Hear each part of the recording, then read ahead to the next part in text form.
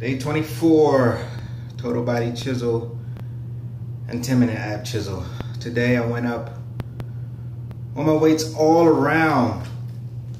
So while I wasn't able to necessarily finish all the reps for every exercise, I made sure to maintain proper form because at the end of the day, that's the most important. And when you go up weights, it's important to keep your proper form.